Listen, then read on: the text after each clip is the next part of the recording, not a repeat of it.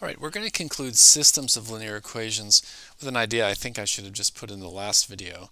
We saw that sometimes we get an unusual uh, idea that we saw we could sometimes have all the x's and y's drop out and what was left was telling something that wasn't true.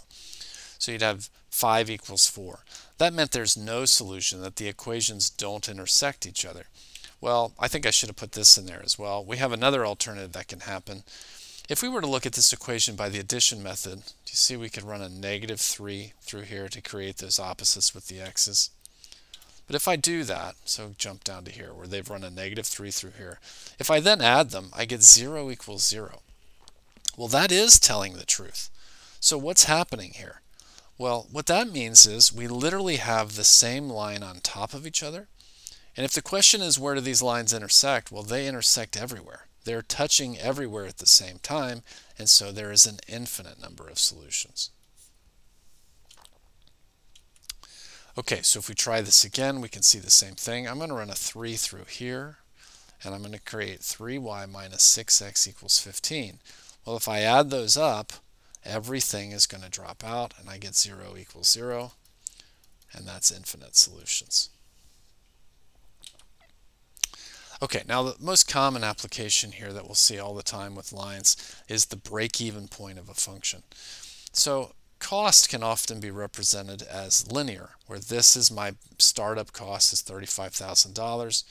The slope is 0.85. Like every time I make another uh, one of these items, that's how much it, it costs me 85 cents. And our revenue is represented here by 1.55x. So every time I sell one, I make $1.55. so what I might be interested in is where do these two lines hit each other? That would be called the break-even point. So let's try it. I've got my first equation. Here's cost. Here's revenue. Let's see where they hit each other. You see we're naturally set up right here. I've got y equals 1.55x.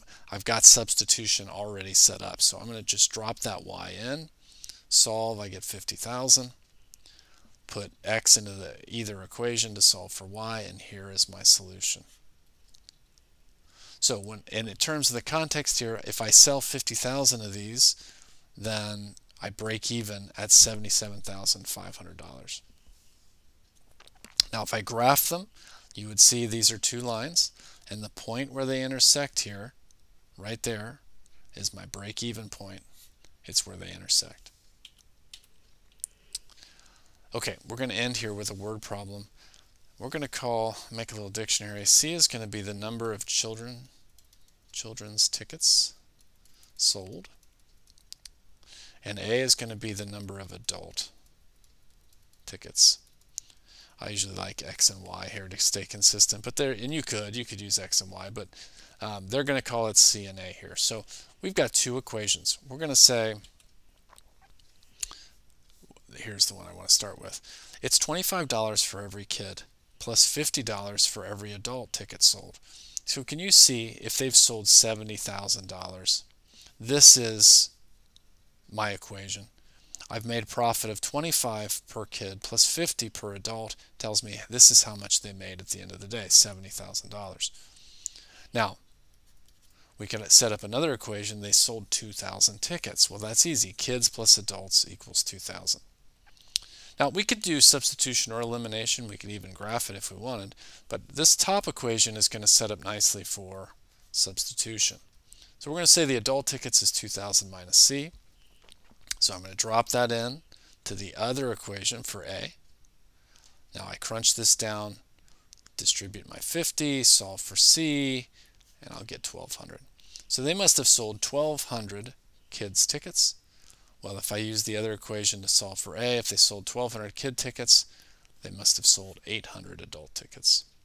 So my point of intersection here has just an application in the terms of the real world. All right, I hope those made sense. You've got the graphic, graphic uh, graphing approach, which is not the best, uh, and you've got the substitution and elimination. Just watch out for those odd things that can occur. If you have something left that tells a, li a lie, 4 equals 5, then there's no solution. The lines are parallel, they never touch. If you get something left that tells the truth, it doesn't have to be 0 equals 0, but it often is, then that means that the two lines are on top of each other and you have infinite solutions.